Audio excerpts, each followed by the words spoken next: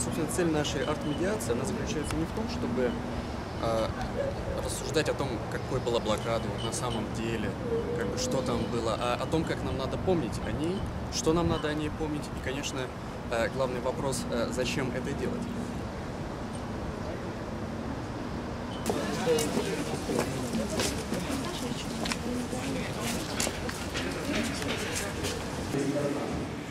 Поэтому, когда появляется такая работа три дня до весны, вы должны да, да, скрещивать тему города, тему людей.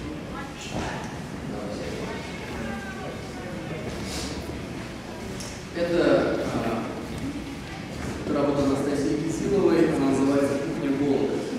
А, по сути, рацион блокадника, это по дневникам Ивана а, Жилинского. А, ну, это ну, хорошо.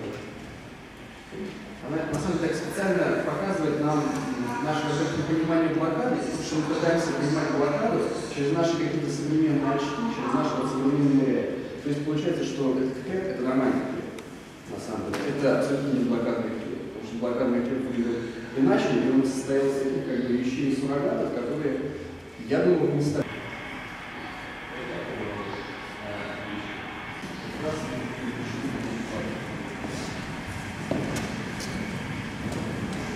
вот это ощущение счастья 9 мая, в том числе ощущение э, ну, женственности, некой красоты. Э, то есть в том числе здесь упоминается как в контексте запретной линии Ольги Бербольц, где описывается, как там в 42 году она, значит, получает от своей партнеры платье, и там, молодец, о, какое хорошее платье, как я в нем хорошо выгляжу, вот, какая милая, какая душка, ну, собственно, я это цитирую. Подойди как бы совсем не завидно. Представьте себе блокадный Ленинград, представьте себе женскую баню. Кто женщина, раздеты. И они видят, что они, они как бы уже потеряли женственность, они как бы на женщин не похожи. Они не тощие, они очень истощенных людей, у них волосы, там, седые, серые косички, ну, эти люди, она красивая, и сразу возникает вопрос, а как вот это все возможно? То есть как сохранить красоту и здоровье э, в Ленинграде?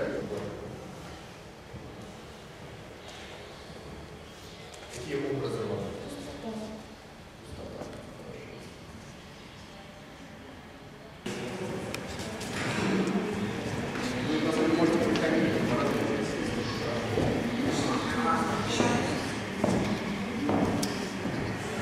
Главное в искусстве, на мой взгляд, это отстранение. То есть можно рассказывать о блокаде, там, показывая очень, знаете, вот так, смакуя, там, каннибализм, там, вот. можно целую огромную выставку про каннибализм в Ленинграде сделать. То есть можно, ну, показывать такие ужасы, вот так, прямым текстом, да. Но это не работает. Вы как бы начинаете нам показывать какой-то хоррор, ужастик, это не имеет отношения э, к жизни и каким-то переживаниям. Поэтому здесь, на самом деле, вся экспозиция построена по принципу отстранения. То есть, и зритель, когда он сюда приходит, он должен задавать себе вопрос, а чего здесь нет? Вот то, чего здесь нет, это то, что нам хотят показать авторы. Ну вот представьте, вот вам показали очередь. А, ну, чего здесь нет? Хорошо, здесь нет людей. Ну, вот мы представили себе, что эти люди, что эти люди стоят. Вот, они стоят.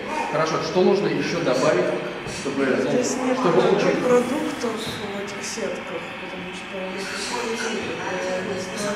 Да, то есть это, это значит такое... Это образ как бы пустой. Вот этих пустых авосик, это именно такой художественный образ, потому что представьте себе, вот вы стоите на морозе, а, вы получили какой-то хлеб у продавщицы, значит, в булочной.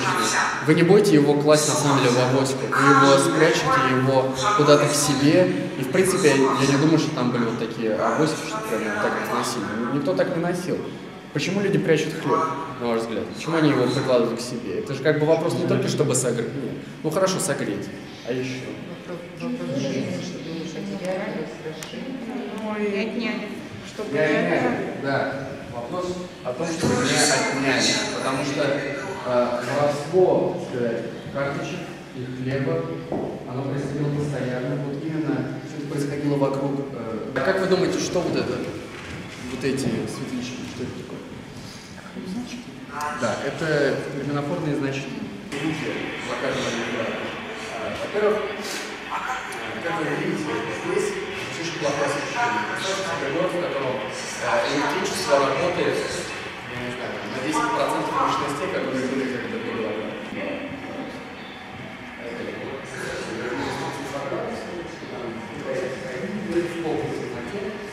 И э, ничего хорошего в этом не происходит. Собственно, главная мысль э, Люткина, она заключается как раз таки, мне кажется, не столько в значках, сколько вот в этой темноте. Потому что когда вы находитесь в темноте, вот, закрываете глаза, э, вы начинаете слышать звуки блокады.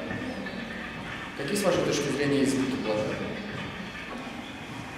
Мы здесь видим э, современный Петербург, Зимтер, опять же, Казанский собор, э, Невский проспект. И мы, э, мы очень часто ходим по этим улицам, по Невскому проспекту.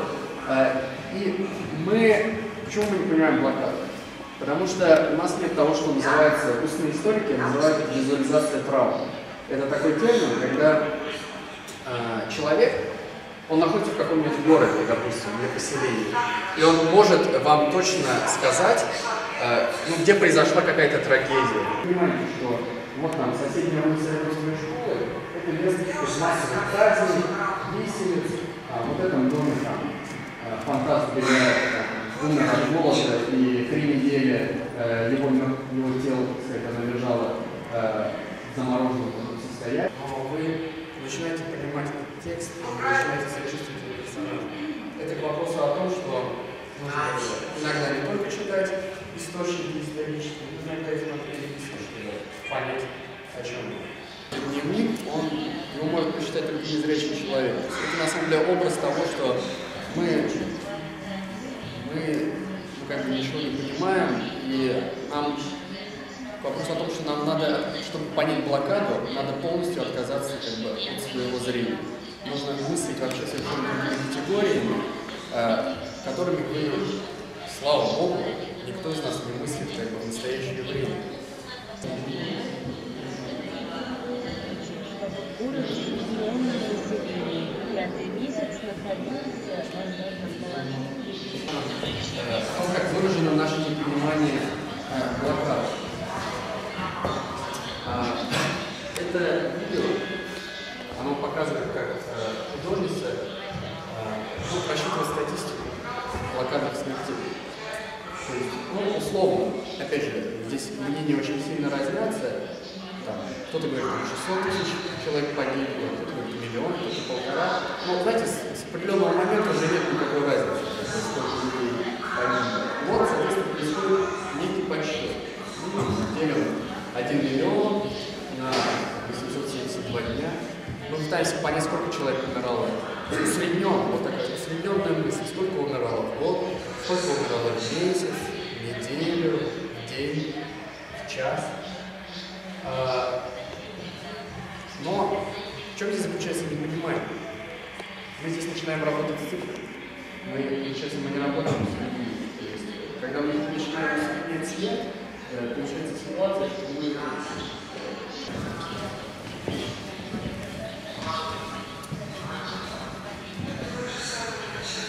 Вы можете посмотреть на это кресло, наушники и, собственно, понять, что эта инсталляция называется «Комфортное чтение».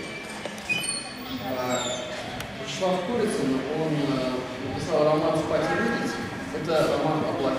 То есть там использовано огромное количество источников, дневников, он их как бы вплетает в свой роман. И его инсталляция заключается в том, что мы возможно, его критика у нас с вами, что мы э, в том числе хотим рассуждать о трагедии, о каком-то ужасе так, чтобы нам, нам было комфортно.